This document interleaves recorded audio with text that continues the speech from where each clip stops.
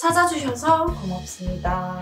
골프장 가장 많은 나라 top 10. 어떤 나라의 골프장이 가장 많은지 영상을 통해 꼭 확인해 보세요.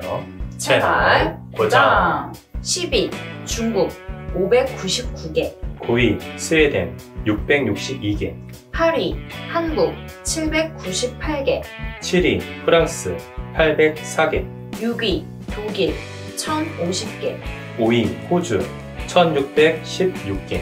4위 영국 2270개. 3위 캐나다 2633개. 2위 일본 3169개. 1위 미국 16,752개. 전 세계에 약 38,081개의 골프 코스가 운영되고 있습니다. 골프 코스는 골프 경기를 하기 위해 만들어진 그라운드로 보통 18홀로 구성이 되며 이에 필요한 면적은 약 90만 제곱미터에 달합니다.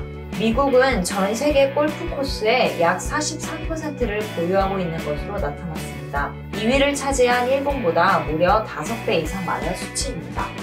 오늘은 골프장이 가장 많은 나라에 대해서 알아보았습니다. 다음 시간에도 재미있는 영상 가지고 찾아오겠습니다. 더 많은 영상을 계속 보고 싶다면 구독, 좋아요, 알람 꼭 잊지 마세요.